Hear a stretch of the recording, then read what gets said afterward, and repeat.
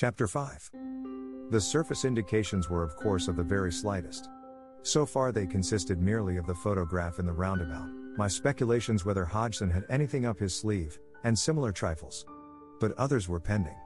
The danger of the coroner's inquest might be safely passed, but at least half a dozen other rocks loomed immediately ahead. The Aglo Company, for example, would want to know what had gone wrong with their machine, and the manufacturers would be even more interested. The same with the parachute people.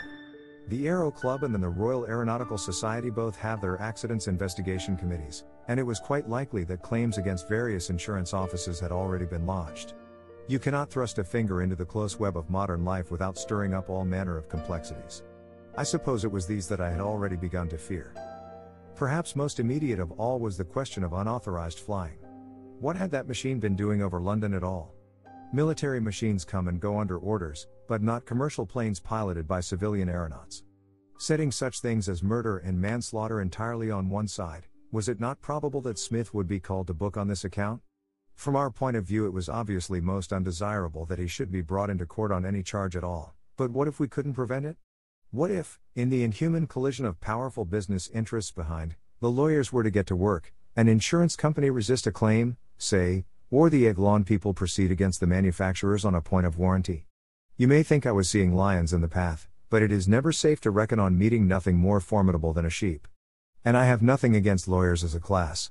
I don't think Billy Mackwith would pick my pocket of a single sixpence. But I do believe they are like the road mender with the stone. He hit it with his hammer ten times without breaking it, and was then asked whether he did not think he would have a better chance of splitting it if he turned it splitting edge uppermost. How do you know I want to split it? He replied. I suspect even Billy of not wanting to split it sometimes.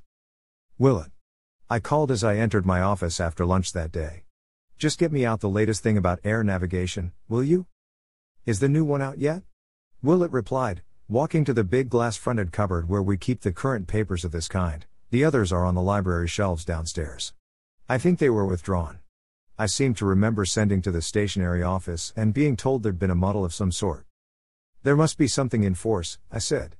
I want that, whatever it is. Just a moment, ah, here we are. Willett was both right and wrong. A certain issue of statutory rules and orders had, as a matter of fact, been withdrawn, but an amended reprint was now available. He handed the slender white booklet to me. It was dated April 30, 1919, and had therefore been in force for some days at the time of the Lenox Street accident. I walked to my desk and settled down to the study of it. I don't know that I was very much the wiser for my efforts. So much seemed to be in the air in every sense of the word.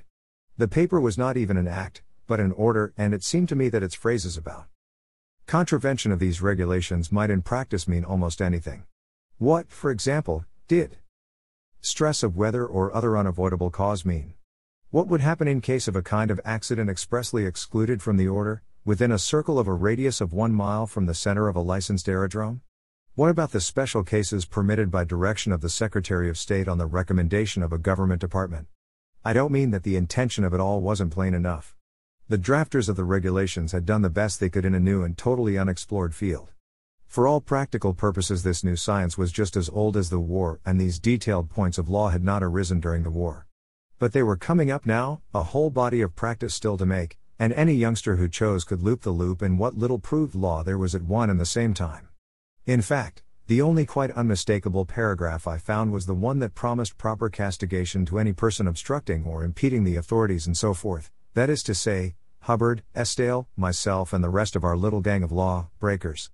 And, before I pass on, bear with me for one moment while I ask you to observe how all history began to loom behind our case, ready at any moment to drive it irresistibly forward.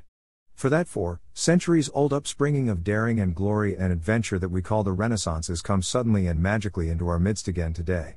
There are now to seek and to chart and to possess Indies and Orients, not of the unembraced and bridal waters, but of the already defeated and subject air.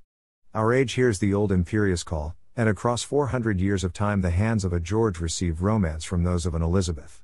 It may seem a far cry from this to the man in the public house, but it crept and lapped about our case like a slowly mounting flood. Idle rumors brought with the milk to Chelsea doorsteps, a press eager to take its lead from any momentary whiff that ruffles the popular mind, a government that without that press could not govern for a week, and the radiance of this new sunburst over all. This is the apparatus of our Drakes and Burleys of today. And, so long as the mighty thing went forward unimpeded, What did any individual matter?